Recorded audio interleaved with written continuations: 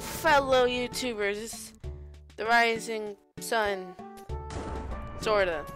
But, um, I don't know if you've noticed, but I did take down my video on the command block box. Well, not really. It's unlisted.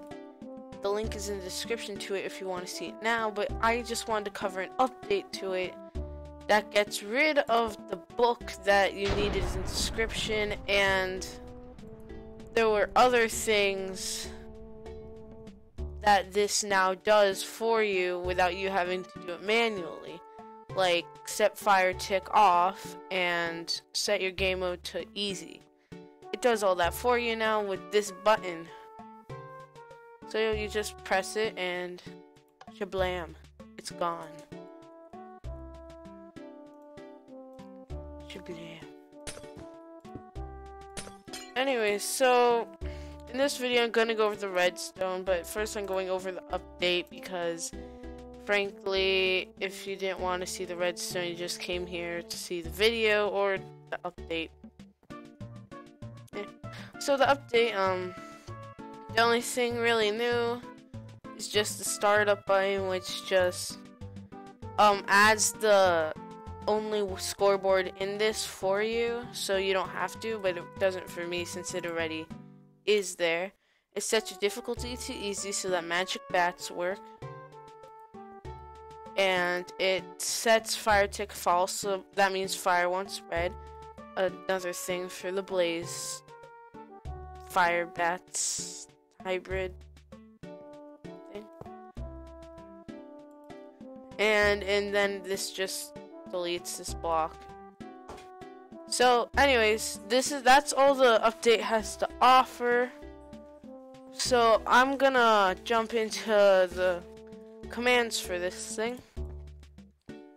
So, I'm going to my sister's in the room now. I I, I want to stop this thing because it gets annoying. There, okay, just keep it in. Yeah, that's weird about new things. They just hop around. Get in. manually. Whatever. Um. Here. Shoot. Okay. Whatever. Um. So the redstone and how it works. This is how we work. so I'm gonna go over the features on like the one that why is this it's even more no oh yeah this is probably a good thing then take it Willie oh goodness that was annoying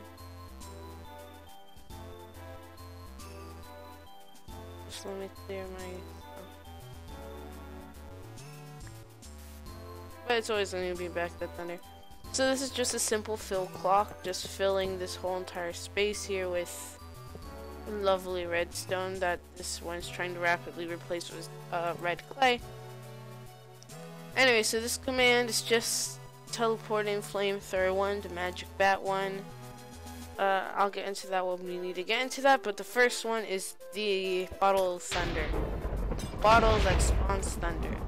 So this test for if anyone has a Bottle of Thunder in their inventory right at the moment, which I do. If they don't, it sort of just gives them another one. Sort of can be annoying at moments.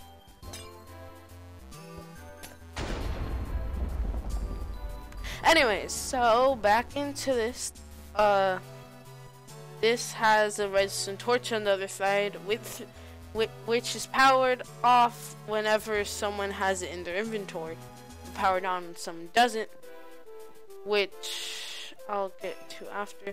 But when someone does have it in, this is setting this block over. It's not here, but if I were to get a block lapis ore. No one uses that. So it sets this block to air. And this block right here to air. Then it puts a redstone block here.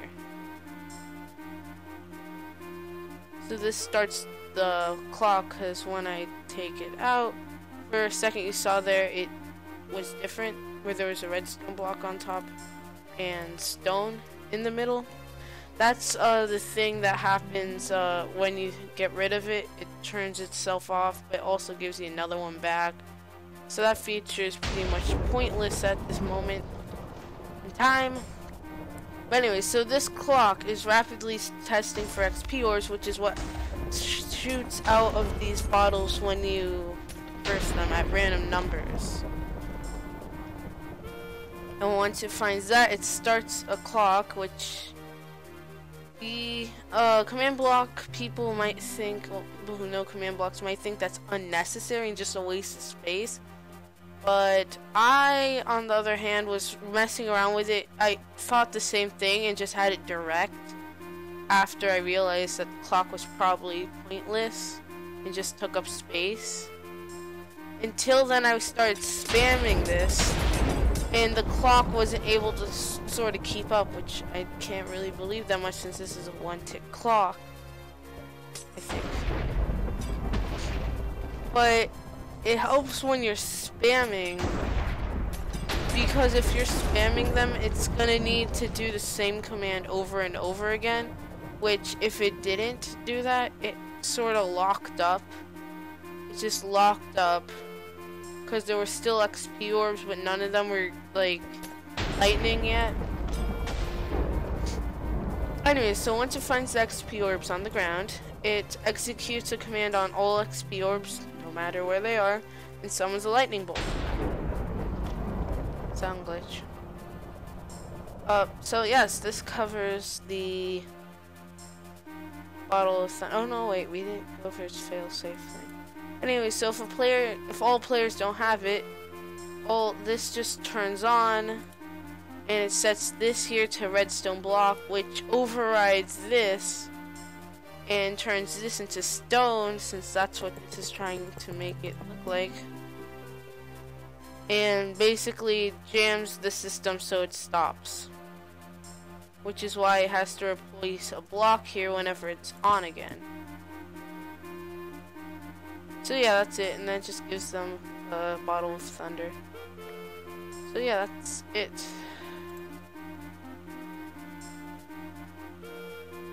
Anyway, so now we go to the Magic Bats firework. So this keeps testing for fireworks rocket entity, which is the thing that spawns whenever you fire off a firework. Let me show you. So the firework in itself, like that, when it's a firework, that's the fireworks rocket entity. It's testing for that, and when it does find it, it summons a bat. Mad, it, yeah, another bat, bat, fire thrower, which is actually just a blaze fire thrower, fire thrower. Then it just goes here, sets a transfer cooldown to 600, which to mathematical terms, 620 times, uh, oh wait, so 20, oh yeah, 20 times 3600, I'm sure that's the thing I used for this, um, since there's 20 ticks in one second, so it waits for 600 ticks, which equals up to 30 seconds, which is half a minute, and that means if they're not, they're around for 30, roughly around 30 seconds. Then it kills all blazes, kills slimes. I hate slimes. That's just because I have mobs spawning off right now, but I still they pop up sometimes. It kills bats, and then gives you this once it kills the blazes, which it always will. But the reason for its randomness, which uh, if you didn't see the video, it summons up to three bats, so it could be zero, one, two, or three bats. The most you can get getting three. This is because sometimes on this is because on random ticks, it can kill the bats when you spawn them, like right after they're spawned, so they're not teleported to you. Which I forgot to mention is what this does. It teleports to a random player. so that they're out on the field. Wherever the players are. That might not work if you have a server. Also, I realized glass doesn't show up when, you, when there's lightning. That's weird. So it's like glass in it. Stupid question is stupid, but I'm just saying. Some properties, maybe? Uh, that's beside the point, but it can kill the bat right before it's teleported here, which means it has that random number. Sometimes if it's not on the like correct tick, you're gonna get none or maybe just one or two bats. If it's on like spot on tick, you're gonna get all three because they weren't killed before they were teleported and this had the transfer cooldown which turned it off. And yeah, that's the magic bats. Um so now on to the potion that just got given to me. Anyway, so the potion starts it's not actually in the column since it doesn't actually need the clock to run, it just needs the scoreboard to run. It's right here. This is the clock, same thing. But this is casting mob spell to, anyone who has a score of MLG 1. But this is casting mob spell to anyone with MLG minimum of 1. It's just a particle command which gives you the poofy, colorful particles whenever you drink it which looks cool. Instead of like the normal thing. Um, MLG being a scoreboard, which is whenever you use a potion, like whenever you drink one. So that's how it works. Once you drink a potion, since this is the only potion item here, it's gonna set this off. It tests for anyone with the score of MLG minimum of 1. So find any player. Then it affects them, anyone with an MLG minimum of 1, with a particle command of 10, which is regeneration, 18 seconds, that's 18, for, with a level of 6, which basically makes you invincible. Because levels are weird. So yeah, particles. Sometimes it doesn't work though, which is odd to me, but it could be a wild card, I guess.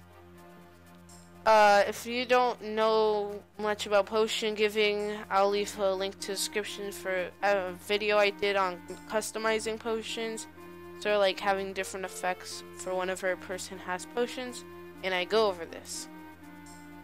Anyway, so next, it gets rid of their jump boost, which is what the normal not regeneration part of it is and it does a transfer cooldown right here.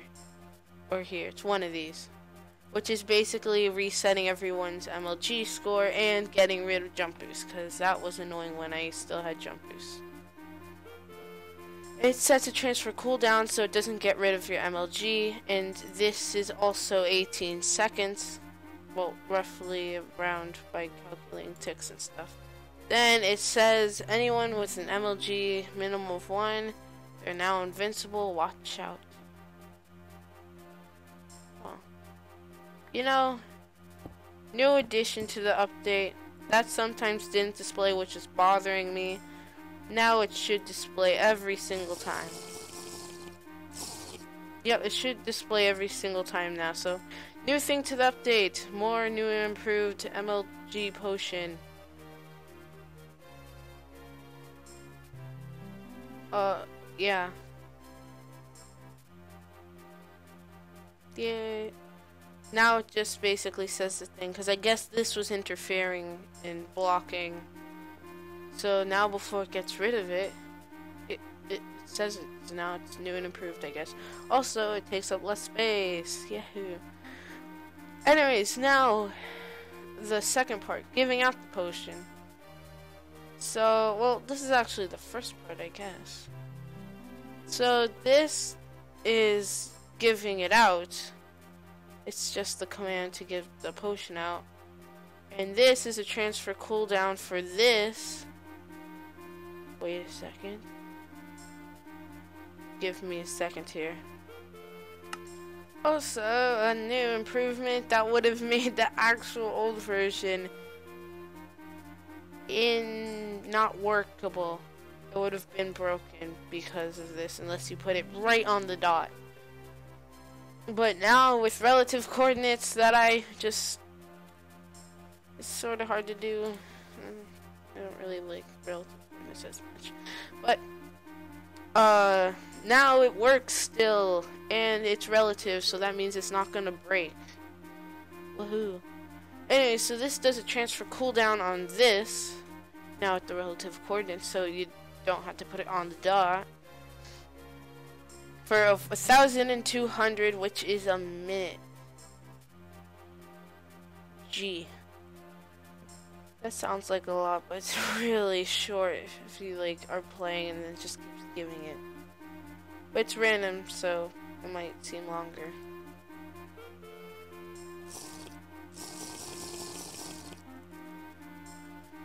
Yeah, so now I haven't seen any faulty in the message. It gives out. So that should all work now. Oh yeah, also these for the Magic Bats. This is teleporting Flamethrower 1 to Magic Bat 1, Flamethrower 2 to Magic Bat 2, Flamethrower 3 to Bat 3. Which means this also improves the randomness, sorta. Which means that the bats have to be there for the blaze to be there which means you can't have one without the other, other, which means the blaze don't come out unless there's a bat to make it look cool. Because the blazes are invincible. Okay, so that wraps it up. I'm pretty sure. Oh yes, that cut feature, that was because I learned that relative coordinates had to be used. Also, why is there light randomly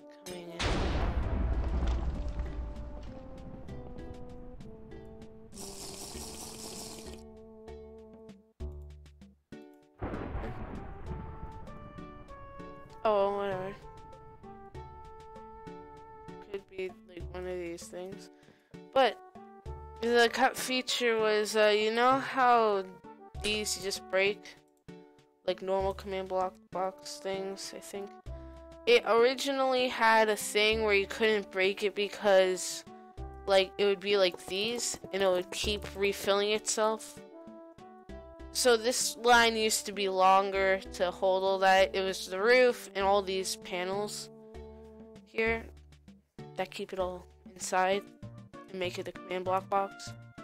Command block smash box. Jeez, so hard to say that. But you weren't the floor you'd still be able to break, but then again I doubt you'd be able to break it if it was a survival thing. So, anyways, when I found out I'm gonna have to use relative coordinates because that totally slipped my mind the whole entire time making this. As you saw, because there were still normal coordinates for this block. So, uh, yeah. Uh, I couldn't put it in because that would be way too hard. But I might try next command block box. Since this is the first one I've ever made. Also, other instructions for you to do that I forgot to mention in the first video. Of course, check these to make sure they're respawning. If they're not, like I said, take anything. Oh, no, not anything. Just see how it's all stained clay now. Put, break the stained clay. Put a command block there. Oh yeah. Take that off. Put a command block there. Boom. Also, make the thing I didn't mention was make sure these are running. Just make sure they're not. If they're not, put one here. Here. And then just break that. Put this back and it should work. Same goes with this one. And it works. Also, another thing make sure the hoppers are working. You might have to wait to see if that one's working, but if it's not actually moving, that means it's working because that means this command was activated. Just make sure they're all working. If there's nothing in them, put something in them. So the new download link will be in the description with the starter, the new and improved stuff, and all that jazz. And if you want to see more command block box stuff, put a like. Why won't you? Because it makes the world um, happy for one person. Being me, because I know you appreciate my work if you do that. And uh, leave a comment if you want to see, uh, like, well, for suggestions for a command block box. So if you have any ideas for the next command block box, uh, leave those in the comments below, which are below but if you're on mobile, they're on the side, the right side, because the comments are the right side to go on this, and comment ideas. I don't know. But yeah, comment your ideas below in the comments, and um, I'll see you later. And remember, the old video link is in the description. Um, and. MB Burns 49 signing out. Also, the download link is in the description. Also, MB Burns 49 signing out.